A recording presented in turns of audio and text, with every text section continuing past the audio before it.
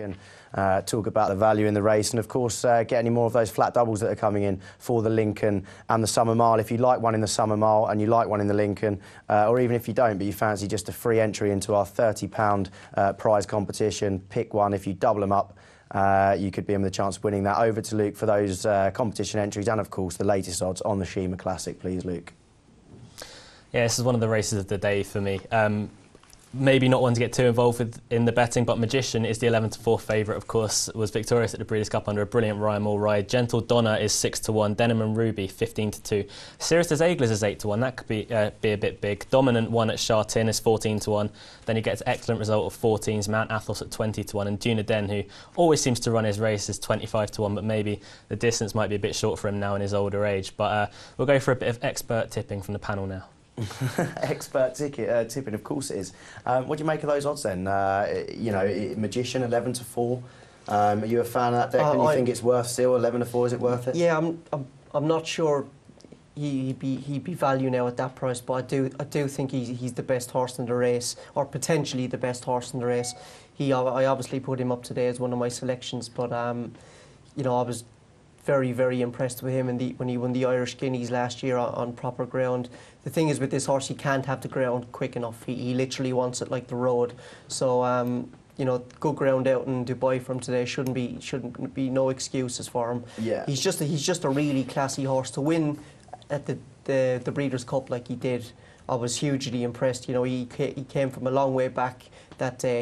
He might have picked up the pieces late, but the form of that race and beating the Fugue on the track she's gone well at before is rock solid, and that was all as a three-year-old. Better, better suited uh, for the one mile four as opposed to like the, the, um, St James's Palace mile, where obviously he was dead last, disappointing well, on that day, of course. But the, the one mile four is that is that positive? Um, I, I, my own personal opinion is he will be a better horse over ten, a proper good gallop um, on proper fast ground over 10 furlongs. But Cirrus des Aigles won this race two years ago, who was another proper 10 furlong horse. I, I, think he tends to struggle over this trip. He's not quite as good.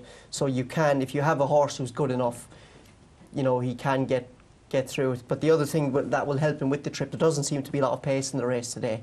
He's got a nice draw. I'm hoping Joseph will just leave his natural early pace, get him into a good position, sit in the first three or four. Just don't overcomplicate it. Yeah, well, if the few goes in as well, uh, stall number four um, could be the stall of the day in terms of uh, the racing in Meydan today. Is it still four Magician for you as well, or, or are there others in the card? In fact, I'm just going to say, Declan, I'm quite surprised that you didn't pick out uh, Gentle Gentildonna or, or Denim and Ruby, the, the Japanese imports, yeah. as, as those that you love. We'll touch on that in just a second, those two Japanese ones, uh, for the expert Japanese view. but um, Adam, uh, if you can, what, what, what, are you looking at here? Yeah, obviously a lot depends on Magician. Obviously, it's the progressive class horse in the race who could win this quite comfortably. But like, if you're looking for value, um, with this a bit wide of a mark, I backed Mars last year for the Derby over a mile and a half, and it just didn't come down the the hill that well at Epsom. It's um, better than me. I back dawn approach. So exactly, but well, he came down it, but he came down it too quick. yeah. um, but the thing with Mars is they sort of dropped him back in trip, and he always looked to me as a stayer. And he's had a couple of spins in Dubai, hasn't done that great. But now he's stepping up from a mile nine furlongs to a mile and a half. So I think on decent ground. 33 to 1. I think I might just have a little bit of a nibble. I, okay. have, to, I have to agree with you, you know, totally on that. I loved Mars the way he ran in the Derby last year. I thought he was the unlucky horse in the mm. race. And I think, yeah, I agree. Things haven't just played out to yeah. his. Still unexposed. He's still very unexposed. Seven starts, you know. eight starts. Yeah, yeah. he's now Mike De Kock. You know, I think he could be a big outside player. You know, at, at his price. I, I, again, I agree with Declan and Magician. I thought mm. he was mm. so impressive in America, and when he won the Irish Guineas, when he went to the St James's Palace. For people who don't know, he, he, he spent time in. Um, in a hydrotherapy spa unit, and he jumped out of it. Right. Now you stand in this, right, and the and the, the salt water comes up to where however high you need it, yeah, so maybe yeah, knee yeah. high or up, up to the shoulders, knee, and um, he actually jumped out of it. Now to jump out of something like that is like from a standstill over a, a so five you're saying, foot. So you're saying maybe enter him into the Grand National something? no, I'm, I'm, saying I'm saying he, he got injured when he did that. Okay. And, and it was a struggle to get him to Ascot. So that's you know draw a line through that. Understandable. But, I think, but we're going to have to just wrap it up because we have got the World Cup to talk about, of course.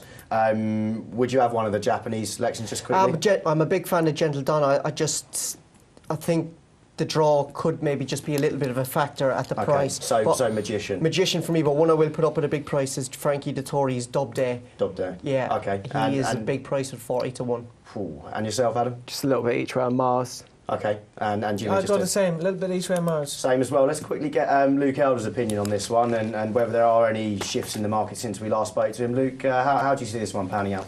Yeah, uh, Magician's just a strongly backed 11 to 4 favourite. If he turns up, then could well take a lot of beating. One that I quite liked at a price Mount Athos. Ran much better than I expected last time when third here at Meydan.